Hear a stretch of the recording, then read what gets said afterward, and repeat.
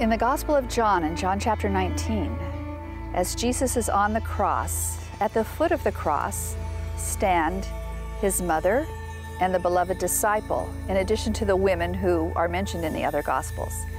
And Jesus, in the midst of his pain, looks down at these two people who are so close to him and so important to him, and he says, Woman, behold your son.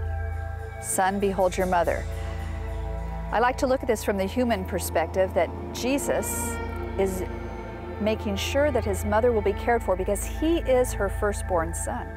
And that is the responsibility of a firstborn son to care for his parents in their old age. So he gives his mother to his beloved disciple, John, who is so uh, important and close to him.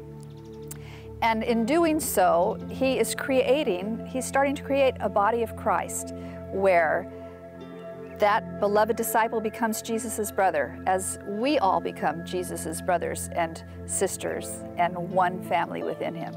It's a remarkable thing. Just as Jesus is about to die, in the Gospel of Luke, he says, Father, into your hands I commit my spirit.